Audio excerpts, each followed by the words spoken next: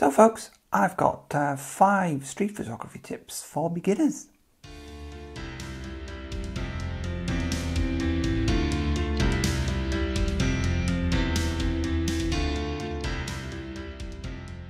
So, a lot of people, um, when they first start out in street photography, I think a lot of them talk about being anxious or intimidated by it because it is quite difficult to uh, photograph strangers, especially when you've got quite a big camera or a you know an SLR or something like that. So one way I would recommend people get started is you often see people out taking pictures of lots of different things with your mobile phone. Um, and your mobile phone is very unobtrusive, and lots of, as I say, lots of people use them. So why not start? Even if you've got a good camera, start with your mobile phone and see what you can do, um, because you won't stick out uh, like a sore thumb if you're taking pictures of things with that, and you're less likely to get people noticing because you look around you with people and do some people watching, which inevitably people are often in their own bubble and totally unaware of what you're doing. But if you take the time to people watch and actually observe what's going on around you, you'll notice just how much people are absorbed in their own own little worlds.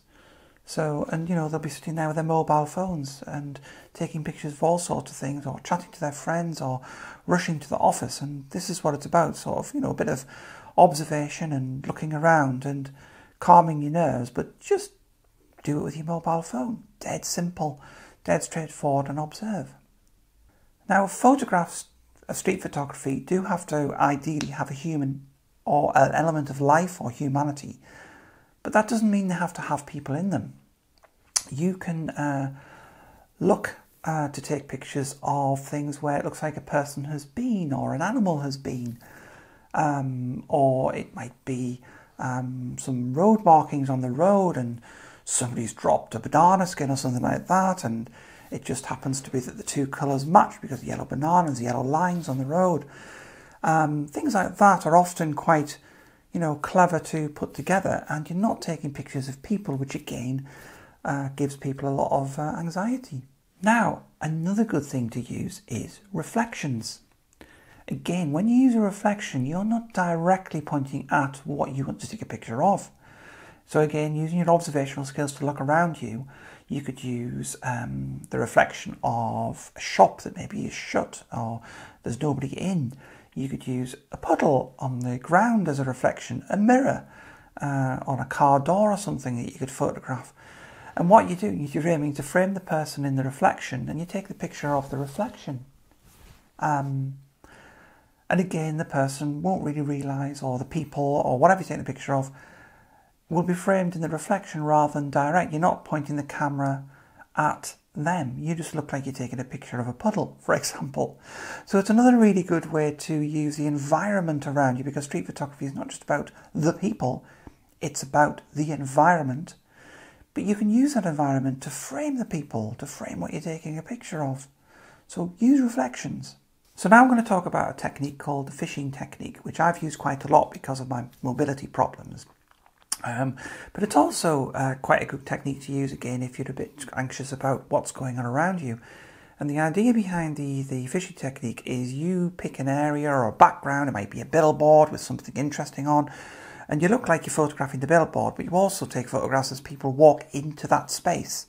It could be a shadow to look into or, or anything that you can sort of frame the person in.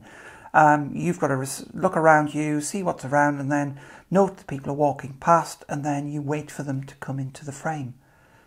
And again, they're not really going to notice you. And that's the best way to, to do it.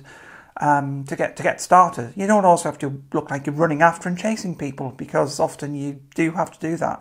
Street photography can involve a lot of walking, and when I was uh, pre my um, illness, I uh, could walk five, six, seven kilometres doing street photography. Now I struggle to walk more than a kilometre. I'm getting better, but start with fishing because it doesn't get you stressed out about charging around gallivanting around all over the place. And again, if you have mobility issues, sitting on a bench where looking at a billboard and photographing people as walk past uh, and waiting for lots of different people gives you lots of opportunities. There's awful lot of opportunities will happen nearby where you are. You don't have to gallivant around to get the good shots in street photography. Um, you just have to be very observant about what's around you. Now, lastly, to talk about cameras. So I've set about starting off with a mobile phone is a really good way to do it. And I think that probably is the best way for a lot of people, even if you have a camera, if you're anxious. Now, if you want to get straight out there with a camera, um, look at my other video out the uh, the X100V. I'll link it in the description below. But a camera like that, you don't have to be as expensive. Just a little compact camera is a great camera to start with. Again, it's unobtrusive, but it's got a bit more performance, power, flexibility with a zoom lens maybe than a mobile phone has. Mobile phones tend to be fixed lenses. However, I like to use a 23mm lens on what's called an APS-C camera. This is equivalent to a 35mm lens on what's called a full frame camera. If you're unsure about cameras and, and sensor sizes like full frame and APS-C, I will do another video on that. Comment below if you want me to do that and I'll tell you about the different sensor sizes. Essentially though, all cameras before digital were full frame and a 35mm lens sees like the human eye does. It's the same field of view. This is why for documentary photography, the 35mm focal length on full frame or 23mm on um, a cropped camera, an APS-C camera, is a very favoured focal length. So if you're using an interchangeable lens camera or you have a camera with a zoom and you can set it to the equivalent of 35 millimeters, that's a good focal length to work with. You'd be surprised, and you don't have to necessarily. It means you have to walk around with your feet a lot, bit if you if you want to get the shot. But again, you've also got your zoom for that if your camera happens to have that. So if you have less mobility like I have now, take a zoom, but try and do it with 23mm set on the lens um, to give you an idea of what that natural focal length is. You know, you can move from spot to spot and then sit down like I do. That's what I do. I sit down and try and work as much as you can with 23mm or 33mm, sorry, 35mm um, to get that natural documentary look that you would see when you're watching television or something. And many things are shot at 35mm because it's a very natural what the human eye sees. Mobile phones tend to be a bit wider, so they're current about 24mm, which is okay. Um, but things when they're wider can look a bit distorted, especially at the sides, you know, angles on buildings. And when you zoomed in, you're kind of not picking up the environment around the person. That's not to say you can't take good shots with zoom lenses. There is no rule for lens to use. So I would recommend a small camera if you can.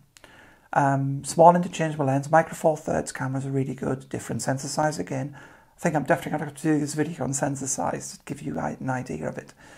Um, or a small APS-C camera. Um, I use my Fujifilm X-S10, which I'll show you here, um, which is a really compact camera. And I also use my X100V, which is a fixed lens camera, which its lens is equivalent to 35 millimeter. So there you go. Um, that's some tips for cameras to use. You can use any one you want though. I do go out with my Lumix, which is a huge camera, um, very heavy, um, and people do notice you. Um, as I say, I mean, I've been bringing up various examples of shots of things, and you get. But sometimes when you notice, as you grow in confidence, it's really, really good to um, to see that because you get to see the reaction of people when they've clocked you taking a picture, and sometimes they're not happy. Anyway, I hope you enjoyed this little video on some tips, and uh, let me know if you want more videos like this or what videos you'd like to see in the comments below. Please do ask questions in the comments below. Remember to uh, like and subscribe if you enjoyed the video. Um, and I will catch you all uh, soon.